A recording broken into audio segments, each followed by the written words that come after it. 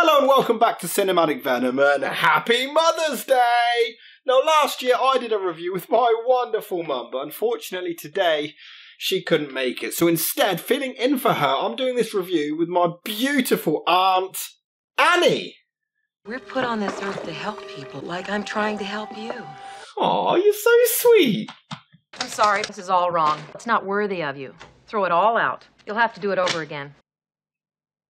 Do what? You and I were meant to be together forever. Ladybird, I was shocked to find out wasn't about an actual ladybird. We see that she calls herself Ladybird and draws a weird hybrid thing, and then I realised in America they say Ladybug and not Ladybird. Yeah, this is a Ladybird, so false advertising. I know that, Mr. Man! Alright, alright, calm down. So, what does that mean? The movie doesn't necessarily have a plot as such. It's a coming of age film showing Christine, who demands to be called Ladybird for some reason. Okay. Christine, Ladybird. is that your given name? Yeah. Why is it in quote? Well, I gave it to myself. It's given to me by me. Okay. Have you all got amnesia?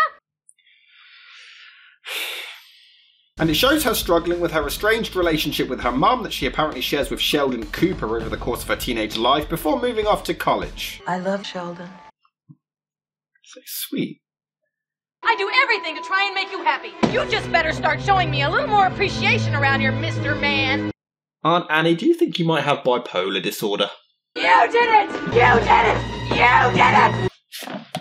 Maybe schizophrenia? Director Greta Gerwig spent years on the screenplay, originally under the title Mothers and Daughters, and was initially over 350 pages long. By 2015, she managed to secure some funding from IAC Films as well as Scott Rudin Productions. Noah Baumbach actually offered to direct it for her after she had finished the script. And after consideration, she declined and decided to make this her directorial debut. Hell yeah. The movie was often sold as semi autobiographical, but Gerwig confirmed that nothing in the movie actually happened to her in her own real life, and that it's just a harsh truth of stuff that she knows. She claimed that the lead character is actually the complete opposite of how she was at that age in real life. Though it takes place during the same time Gerwig graduated the same kind of Catholic high school in the exact same city as the movie, and Gerwig did take the cast and crew on tours of her old hometown in Sacramento, California, as well as providing them with her old high school yearbooks, photos, and journals. Why would you go through all of that if it wasn't about you?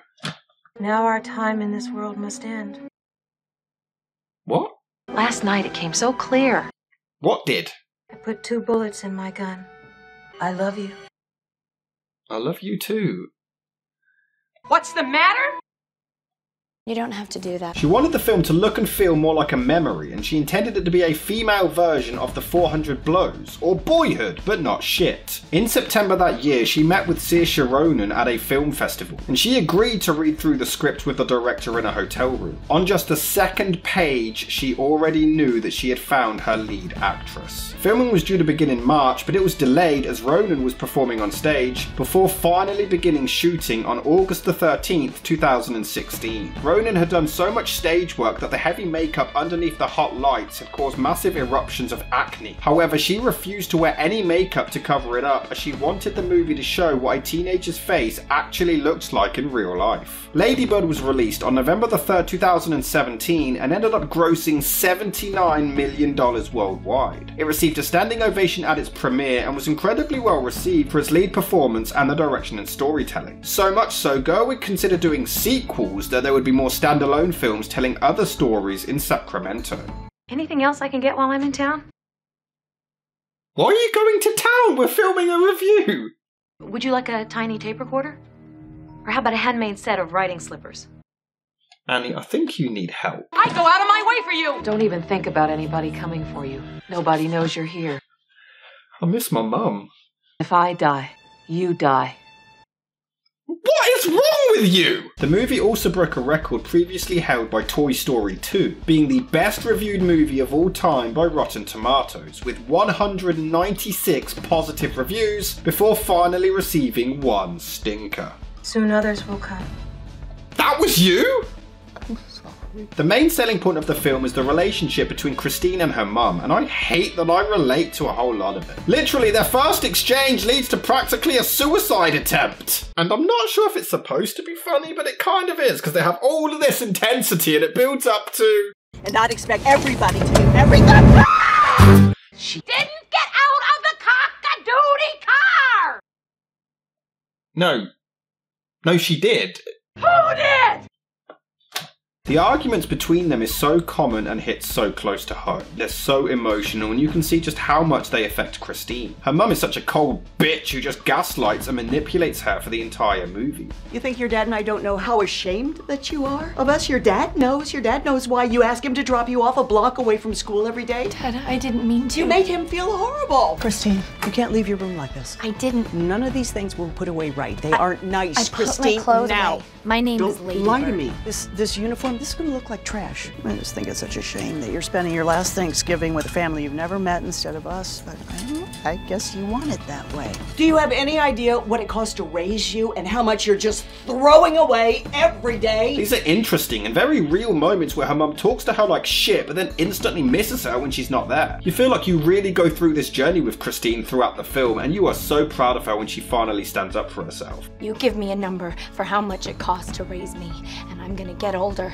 and make a lot of money and write you a check for what I owe you so that I never have to speak to you again. She shows the traits of a typical abuser, mistreats her over and over again, and then is shocked when she goes behind her back. But this performance is incredible. I'm so sorry. I didn't mean to hurt you.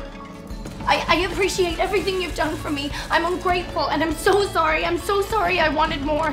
And I was so surprised to find out that she's not actually American. Her accent is insane. When she leaves to go to college, her mum refuses to walk her out and say goodbye and then just drives off. No idea why she drove off when she'd clearly need to come back to pick up her husband anyway, but alright. And after driving away, she instantly realizes her mistake and rushes back, but it's too late. It turns out she also wrote letters to her, but sadly we don't even get to know what they say unless she paused them, I guess, but I can't make out half of this handwriting. It ends with her reaching out to her mum to thank her for everything she's done, which is weird but very human. This also comes right after she's moved out to college. She very quickly goes to a party, gets completely shit faced, and ends up in hospital. So, despite all the shit her mum's actually put her through, she then realizes just how coddled she's become. This is a really interesting and very powerful message that she realized just how much she actually does need her mum, and it's beautifully handled. During the film, Christina's acted out and played up, so naturally some angry reactions are expected. So you can kind of see it from both sides. It's a very powerful and real film. They do mention that her grandmother was an abusive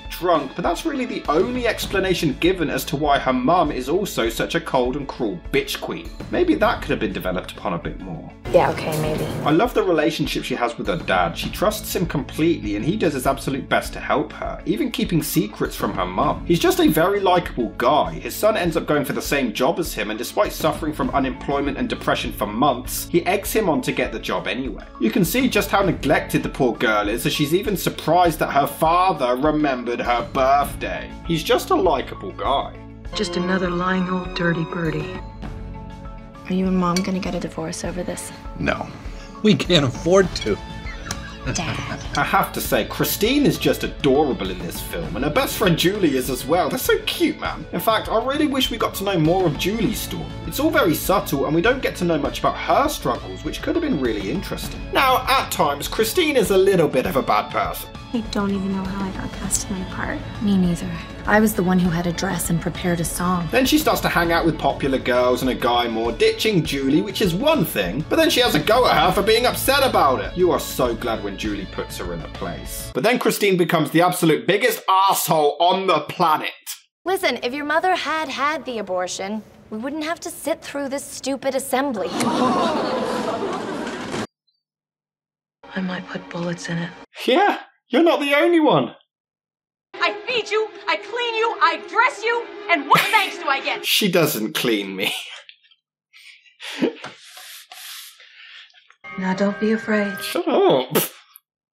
The thing is, it doesn't justify it, but when you look at her upbringing, you can see where the anger, frustration, and hormones are coming from. She meets another guy who also claims to have been a virgin and accurately nuts in two seconds, but it turns out he wasn't a virgin and he lied because she has the worst taste in men imaginable. You said you were a virgin. I didn't. You fucking did, mate. I haven't had sex yet with another person. really? Yes. And wait, it wasn't your first time and you still nutted that quickly?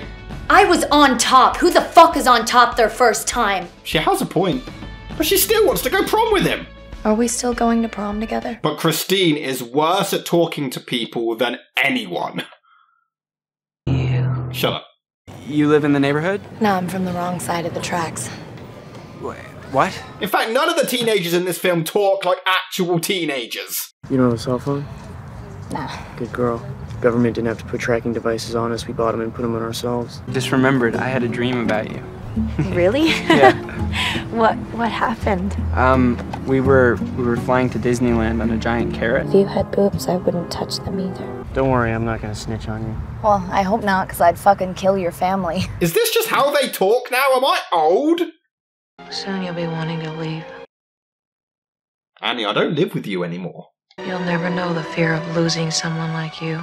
I'm 31 years old. I know that, Mr. Man. Do you think that Shelley and Miguel have sex on the pull-out couch? Oh, yeah. Who laughs about their son having sex on their couch? You. No, I don't! My son's 12! I better go now.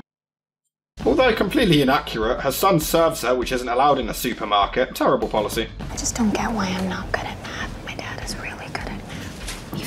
Even has a math degree. Maybe it's your mom's fault. Or maybe you're just dumb as shit! That's very kind of you. But the movie does have some funny moments. If Danny and I get married and then his grandma died, I'd inherit the dream house. Wouldn't his parents get it? Oh yeah, we'd have to kill them, and we'd have to kill his older brothers too. Christine starts dating a guy, but then walks in on him cheating with a dude. Okay, I gotta admit, I didn't see that coming. Can't you see it's what God wants?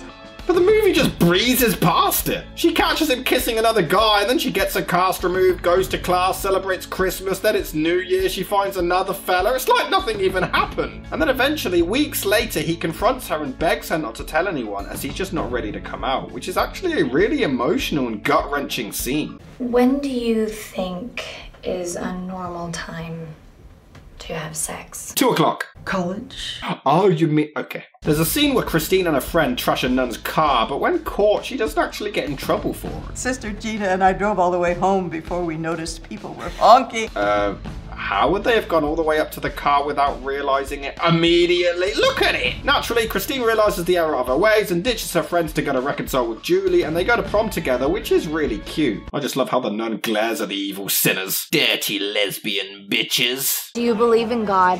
Uh, no. Why not? uh, it's ridiculous. People call each other by names that their parents made up for them, but they won't believe in God. What's the correlation? Don't believe in God? Birth name. As long as it does exist, your mind won't ever be free. The best way to describe Ladybird is boyhood done right. It's short, but there's never a dull moment and not a dull performance. It's a heartbreaking story, and I think some things could have been developed upon more, such as her mother's motivations and more of Julie's backstory. But it's still an incredibly powerful film, and I would highly recommend you check it out.